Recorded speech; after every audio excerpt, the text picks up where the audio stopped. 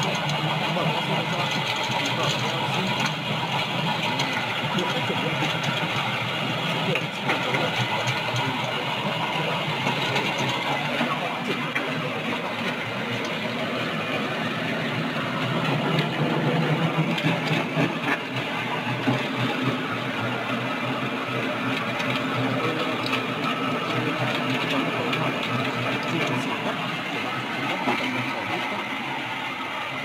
các bạn và hôm nay tôi chỉ nói về viên nấm mực cưa đấy là các câu hỏi bị tất của bạn tôi xin được trả lời khác.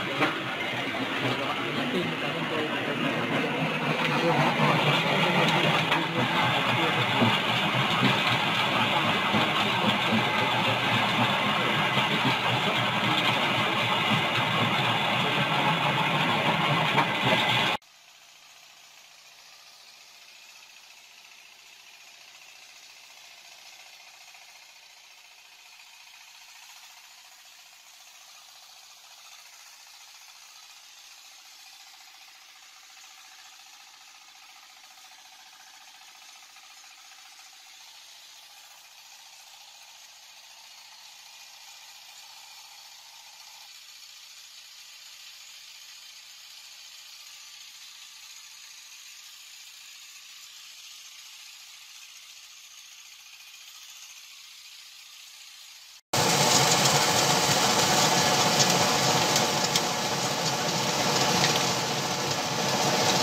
Làm tí chương trình gửi VTV 16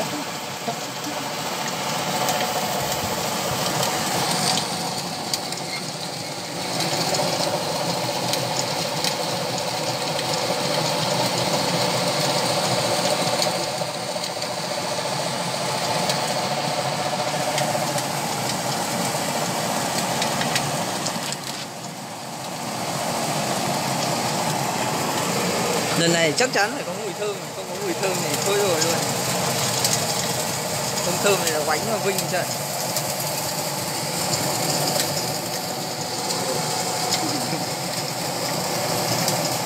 chào 500 anh em. Giống như Hoàng Bách chào 500 anh em.